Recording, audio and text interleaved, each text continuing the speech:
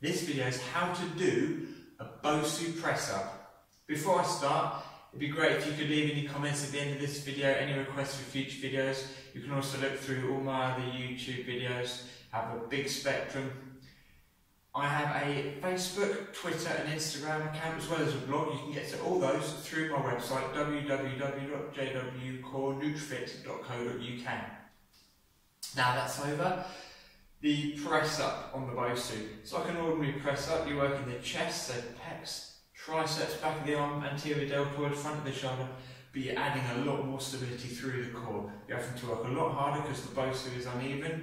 In your chest and shoulders are having to stabilise you as you're doing the movement. It will take up and sap up a lot more energy, but it will make you stronger and more efficient.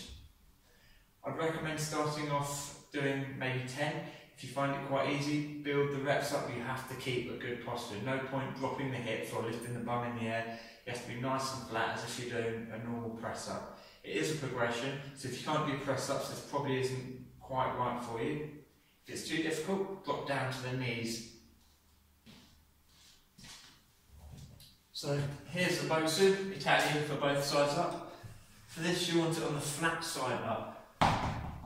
So we've got the Bosu nice and flat. Hands to the edge. There's actually some grips on there that you can see.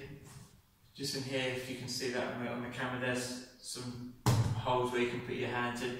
You don't have to if you find them uncomfortable, I know some people do.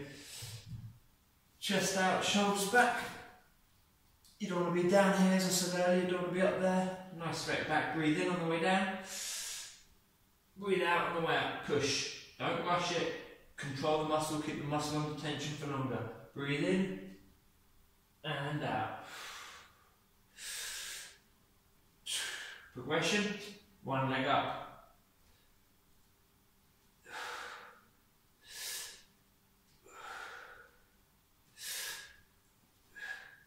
Further progression will be to do that with your feet on the ball. That is quite tough. So give that a go. Fantastic exercise will, will really work. Everything from the thighs will work to the neck as most good core exercises do. Great exercise, highly recommended. Let me know how you get on. See you next time. Thanks for watching. Bye bye.